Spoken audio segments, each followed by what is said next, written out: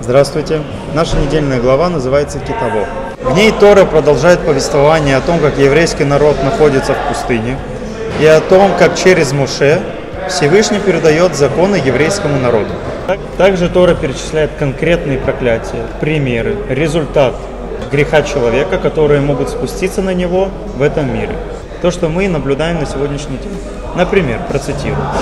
«И ощупью ходить будешь в полдень, как ходит ощупью слепой во мраке». То есть здесь имеется в виду тот галут, в котором мы находимся.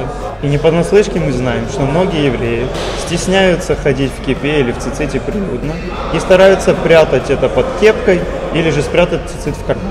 Или же следующий стих. Женщина вручишься, а другой человек будет лежать с ней. То есть здесь имеется в виду насилие, которое спускается в этот, в этот мир, или же разврат, если мы говорим со стороны женщины. То есть ецерара, которая побуждает ее гулять. Имеется в виду ассимиляция, которой подвергся еврейский народ в диаспоре, и невозможность сохранить традиционные еврейские семьи. Еще одно проклятие, с которым мы сталкиваемся ежедневно. Цитируется в Торе. «Виноградники будешь сажать и возделывать, но вина не будешь ни пить, ни собирать, ибо пожрет его червь». Что имеется в виду? То все усилия, которые может приложить человек – напрасны из-за наводнений или других стихийных бедствий. Все саженцы могут быть уничтожены, и человек в итоге все равно ничего не получит. Ну и подытожить все проклятия можно одним стихом из Торы. «И станешь ужасом, притчей и посмешищем среди всех народов».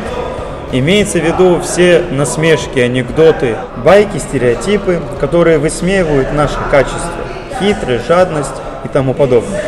Поэтому в преддверии Шаббата я хотел бы пожелать всем нам всему еврейскому народу не нарушать запреты Торы, дабы в ближайшем обозримом будущем закончить процесс ассимиляции, сохранить нашу еврейскую самоидентификацию и удостоиться грядущего мира. Всем гудшабас, шаббат шалом.